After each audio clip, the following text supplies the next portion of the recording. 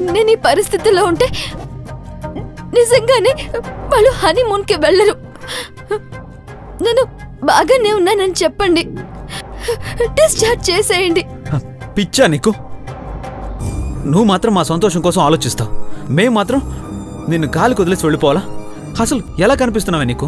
అయ్యో నిజంగా నాకేం కాలేదురా. నేను బాగానే ఉన్నాను. డాక్టర్ నేను వెళ్తున్నా.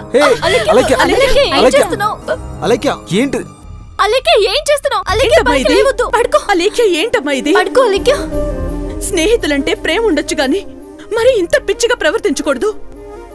లేదా ఆంటీ నేను వాళ్ళని హనీమూన్కి పంపిస్తానని మాటిచ్చాను. ఇచ్చిన మాట నిలబెట్టుకోవాలి కదా. వాళ్ళు సంతోషంగా ఉండడం చూడాలి. డాక్టర్ నన్ను డిశ్చార్జ్ చేయండి. లేదంటే నేను వెళ్ళిపోతాను. ఎందుకమ్మా అంత ఆవేశపడుతున్నావు? ముందు నువ్వు పూర్తిగా కోలుకో. నాలుగు రోజుల తర్వాతైనా వాళ్ళని పంపించి నీ మాట నిలబెట్టుకుందు గాని. డాక్టర్ ఇప్పుడు తన పరిస్థితి ఎలా ఉంది? కొంచెం వీక్గా ఉంది. ఒక పూటలో నార్మల్ అయిపోతుంది. ఇంటికి తీసుకెళ్ళొచ్చు.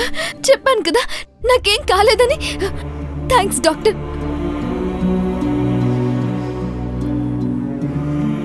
అభి ఫ్లైట్కి టైం అవుతోంది. ఇంకా లగేజ్ కూడా ఏమీ సర్దుకోలేదేమో తొందరగా తొందరగా పదండి అయ్యో.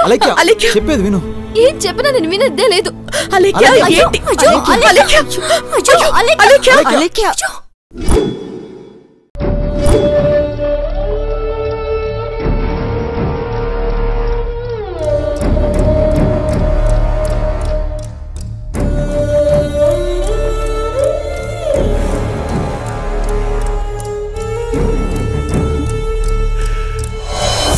కానీ లోపలికి వచ్చేటప్పుడు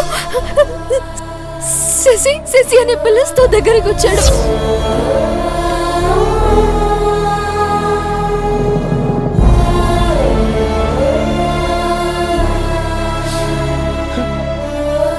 ఏంటి అందరూ మౌనం పాటిస్తూ కూర్చున్నారు? బయలుదేరండి.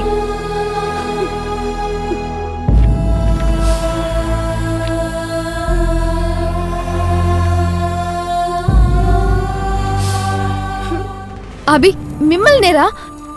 ఫ్లైట్కి టైం అవుతుంది బయలుదేరండి. ఎక్కడికి బయలుదేరమంటావే? నేను ఈ పరిస్థితుల్లో వదిలేసి మమ్మల్ని అక్కడ సంతోషంగా ఎలా ఉండమంటావు?